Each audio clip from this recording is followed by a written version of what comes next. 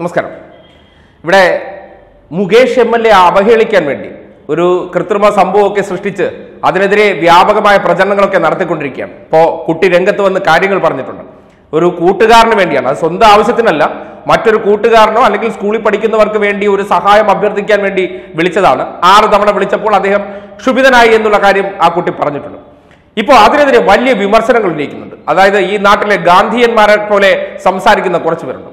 ഏതെങ്കിലും ഒരു വ്യക്തി തുടർച്ചയായി ഇത്തരത്തിൽ ഒരാൾ ആറ് തവണ വിളിക്കുകയാണ്. അങ്ങോട്ടേക്ക് തിരിച്ചു വിളിക്കാം. അത്യാവശ്യമാണ് എന്ന് ഒരാൾ റിക്വസ്റ്റ് ചെയ്യുമ്പോൾ വീണ്ടും വീണ്ടും തുടരെ തുടരെ വിളിച്ചാൽ വലിയ മാന്യതയോടുകൂടി സംസാരിക്കുന്നവരാണല്ലോ ഈ നേതാക്കന്മാരെന്ന് കേൾക്കുമ്പോൾ നല്ല ചിരി വരുന്നുണ്ട്. കാര്യം എന്തെന്ന് വെച്ചാൽ ഈ കെ ഫോണിലൊക്കെ ഇതുപോലെ ഒരു നാലോ അഞ്ചോ തവണ വിളിച്ചു നോക്കണം. ആ വിളിച്ചവൻ അവന്റെ ജീവിതത്തിൽ ഒരിക്കൽ പോലും പിന്നെ മറ്റൊരാളെ ആ തരത്തിൽ വിളിക്കാൻ തയ്യാറാകില്ല. അത്തരത്തിലുള്ള മറുപടി ആയിരിക്കും പറയാൻ പോകുന്നത്. ഇപ്പോൾ ഒരു സൂം മീറ്റിംഗിൽ ഇരിക്കുന്നു എന്ന് ഒരാളോട് പറയുമ്പോൾ ആ കുട്ടി ചെയ്യുന്നത് തെറ്റാണ്. രക്ഷിതാക്കൾ ആ കാര്യത്തിൽ വളരെ കൃത്യമായി ശ്രദ്ധിക്കേണ്ട ഒരു കാര്യമാണ്. ഫോൺ എങ്ങനെ ദുരുപയോഗം ചെയ്യുന്നു എന്നുള്ള കാര്യം ആവശ്യമുണ്ടായിരിക്കാം. അതും സ്വന്തം ആവശ്യമല്ല മറ്റുള്ളവരോട് കാര്യം പറയാൻ വേണ്ടി ശ്രമിക്കുകയാണ്. പക്ഷേ അവരുടെ ബുദ്ധിമുട്ട് മനസ്സിലാക്കാതെ അങ്ങനെ കുട്ടികൾ പ്രവർത്തിക്കുന്ന ഒരു സാഹചര്യം ഈ നാട്ടിലുണ്ടാകുന്നുണ്ടെങ്കിൽ അത് ശരിയായ പ്രവണതയല്ല തന്നെ. അതെങ്ങനെയാണ് ശരിയാകുന്നത്? ഒരാൾ അത്യാവശ്യത്തിൽ ഇരിക്കുമ്പോൾ അങ്ങോട്ടേക്ക് വിളിക്കാമെന്ന് പറയുമ്പോഴും നിരന്തരം പിന്നെയും പിന്നെയും വിളിക്കുന്ന ഒരു സാഹചര്യം ഉണ്ടാകുമ്പോൾ ഒരാൾക്ക് ദേഷ്യം വരുന്നത് സ്വാഭാവിക പ്രക്രിയ മാത്രമാണ്. അത് മുകേഷ് തന്നെ ആയിരിക്കണമെന്നില്ല. അത് ഇൻഡിവിജ്വൽ ആയിട്ടുള്ള ആരായിരുന്നാലും ശരി അവർക്ക് പെട്ടെന്ന് ആ സാഹചര്യത്തിൽ പ്രകോപനപരമായി സംസാരിക്കേണ്ടി വരും. എന്ത് കാര്യമായിക്കോട്ടെ? അതായത് പാലക്കാട് നിന്ന് കൊല്ലം എം എൽ എയോട് ഒരു കാര്യം പറയാനുണ്ടെന്ന് പറഞ്ഞ് വിളിക്കുമ്പോൾ ഈ പറയുന്ന കോൺഗ്രസിൽ എത്ര പേർ അത് കേട്ടുകൊണ്ട് നിൽക്കും? ചുമ്മാ ഡയലോഗ് അടിക്കാൻ വേണമെങ്കിൽ പറയാം. ഞാനാണെങ്കിൽ എത്ര തവണ വേണോ ആ കുട്ടി വിളിച്ചാലും സഹിഷ്ണുതയോടുകൂടി ആ പറയൂ കുട്ടി എന്നൊക്കെ പറഞ്ഞ് കേട്ടുകൊണ്ടിരിക്കുന്നൊക്കെ ഒരു മനുഷ്യനും ചെയ്യാൻ പോകുന്നില്ല. ഇൻഡിവിജ്വൽ ആയിട്ടുള്ള വ്യക്തി അവരുടെ അത്യാവശ്യത്തിന് നിൽക്കുമ്പോൾ ഒരാൾ നിരന്തരം ഇങ്ങനെ വിളിച്ചുകൊണ്ടിരിക്കുമ്പോൾ പിന്നീട് വിളിക്കാമെന്ന് അറിയിച്ചാൽ അത് കേട്ടില്ലെങ്കിൽ സ്വാഭാവികമായി ദേഷ്യപ്പെട്ടു പോകുന്ന സാഹചര്യം ഉണ്ടാകും. അതിനെന്താ ഇത്ര അത്ഭുതം? ബാലാവകാശ കമ്മീഷനും ദേശീയ ബാലാവകാശ കമ്മീഷനും ഒക്കെ കേസ് കൊടുത്ത് മുകേഷിനെ ഇപ്പോൾ അങ്ങ് തൂക്കിക്കൊല്ലുമോ? കുട്ടികളെ ഈ സംസ്കാരമാണോ നമ്മൾ പഠിപ്പിക്കേണ്ടതെന്നാണ് പൊതുവെ ചോദ്യം ഉയർത്തേണ്ടത്. ഇന്നത്തെ കാലത്ത് ഒരു പൊതു ട്രെൻഡ് ഉണ്ട്. അതായത് കുട്ടികളെ കൊണ്ടൊരു വീഡിയോ എടുപ്പിച്ചിട്ട് മമ്മൂട്ടിയെ കാണണം അല്ലെങ്കിൽ എം എൽ എ കാണണം മന്ത്രിയെ കാണണം ഇത്തരത്തിൽ വീഡിയോ പ്രചരിപ്പിക്കുകയും സ്വാഭാവികമായി ഇത് കണ്ട് വൈറലാകുമ്പോൾ ചിലർ അവരെ പോയി കാണുന്ന ഒരു ട്രെൻഡ് ഈ നാട്ടിലുണ്ട്. സമാനമാണ് ഈ സംഭവം. കൂട്ടുകാരന്റെ നിന്ന് നമ്പർ മേടിച്ച് റെക്കോർഡ് ചെയ്ത് കൂട്ടുകാരൻ അയച്ചു കൊടുത്തതാണ്. അതായത് ഞാൻ മുകേഷിനോട് സംസാരിച്ചിട്ടുണ്ട് എന്ന് തെളിയിക്കാൻ വേണ്ടി. ഇത് ഒരു തരത്തിലും ഒരു വ്യക്തിയെ ഇറിറ്റേറ്റ് ചെയ്യുന്നതിന് തുല്യമാണ്. അദ്ദേഹം കാര്യമായ കാര്യം കഴിഞ്ഞ ദിവസം വീഡിയോയിൽ പറഞ്ഞിരുന്നു. പക്ഷേ ഉപയോഗിച്ച ഭാഷ അതിൽ ചെറിയ പിശകുണ്ട് എന്നുള്ളത് യാഥാർത്ഥ്യം തന്നെയാണ്. ഈ പറയുന്ന സിനിമാ ശൈലിയിലൊന്നും കുട്ടികളോട് പെരുമാറാൻ പാടില്ലായിരുന്നു. ഈ ചൂരൽ വെച്ച് അടി കൊടുക്കും എന്നൊക്കെ പറയുന്നതിൽ യാതൊരു തെറ്റുമില്ല തന്നെ. അത് നമ്മുടെ നാട്ടിൻപുറങ്ങളിൽ സംസാരിക്കുന്ന ഒരു ശൈലിയായിട്ട് തന്നെ വ്യാഖ്യാനിക്കാം. പക്ഷേ മുകേഷ് ചെയ്ത വലിയ അപരാധവും ആ കുട്ടി ചെയ്തത് ശരിയാണെന്ന് പറയുന്ന ഈ സമൂഹം വീണ്ടും വീണ്ടും കുട്ടികളെ തെറ്റിലേക്ക് തള്ളിവിടാൻ വേണ്ടിയായിട്ടുള്ള ഒരു സാഹചര്യം സൃഷ്ടിച്ചു കൊടുക്കുകയാണ്. അവർക്ക് ജനപ്രതിനിധികളോട് സംസാരിക്കുന്നതിന് യാതൊരു തെറ്റുമില്ല.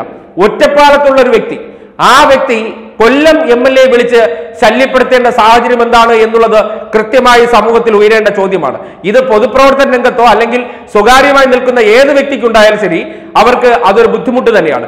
ഏതെങ്കിലും ഒരു സാഹചര്യത്തിൽ അത്യാവശ്യ ഫോൺ കോളുകളിലോ അല്ലെങ്കിൽ മറ്റു മീറ്റിങ്ങുകളിലോ ഇരിക്കുമ്പോൾ നിരന്തരം തുടരെ തുടരെ ഇങ്ങനെ വിളിക്കുന്നത് ഒരു ശരിയായ പ്രവണതയാണെന്ന് കോൺഗ്രസ് നേതാക്കന്മാർക്ക് തോന്നിയിട്ടുണ്ടെങ്കിൽ അത് അവരുടെ വകതിരിവില്ലായ്മ എന്ന് തന്നെ പറയേണ്ടി വരും. ഇക്കാര്യത്തിൽ മുകേഷിന്റെ ഭാഗത്ത് നിന്ന് പ്രതികരിച്ചതിൽ ചെവിക്കുറ്റിക്ക് ഒരു അടി കൊടുക്കണമെന്ന് പറഞ്ഞ ഒരു കാര്യം.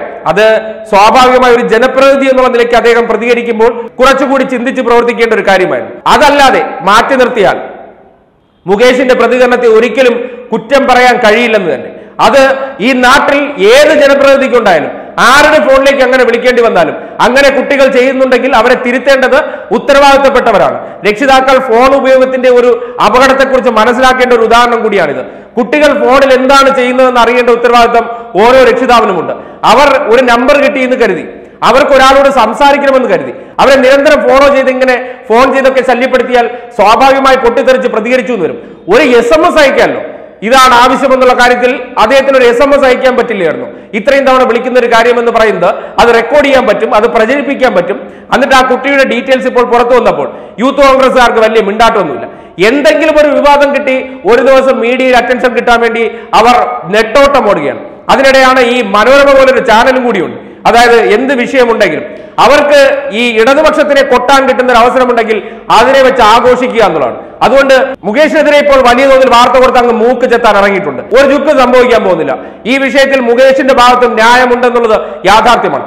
അദ്ദേഹം പറഞ്ഞൊരു ശൈലിയിൽ ഒരു വാചക പിശകുണ്ട് എന്നുള്ള യാഥാർത്ഥ്യം മാറ്റി നിർത്തിയാൽ ബാക്കി ആ കുട്ടി ചെയ്ത തെറ്റിനെയും അദ്ദേഹം ചൂരൽ കൊണ്ട് രണ്ട് അടി കൊടുക്കുമെന്ന് പറഞ്ഞാൽ ഒരു തെറ്റുമില്ല തന്നെ ഇത് വീടുകളിൽ കുട്ടികളോട് പറയുന്ന സ്വാഭാവികമായിട്ടുള്ള പ്രതികരണം തന്നെയാണ്. അതുകൊണ്ട് ഈ വിവാദം കൊണ്ട് ഇപ്പോൾ എം സി ജോസഫൈനെ പുറത്താക്കിയ പോലെ മുകേഷിനെ പുറത്താക്കി കളയാമെന്നൊക്കെ കോൺഗ്രസ്സുകാർ സ്വപ്നം കാണണമെങ്കിൽ അതങ്ങ് കയ്യിൽ വെച്ചിരുന്നാൽ മതി എന്ന് തന്നെയാണ് ഈ വിഷയവുമായി ബന്ധപ്പെട്ട ഇടത് ക്യാമ്പുകളിൽ നിന്ന് വരുന്ന അഭിപ്രായം. അത് തെറ്റാണെന്ന് അല്ലെങ്കിൽ അവർ സ്വീകരിക്കുന്ന ആ നിലപാട് അത് മോശമായി പോയെന്ന് ഇപ്പോഴത്തെ സാഹചര്യത്തിൽ പറയേണ്ട കാര്യമില്ല തന്നെ.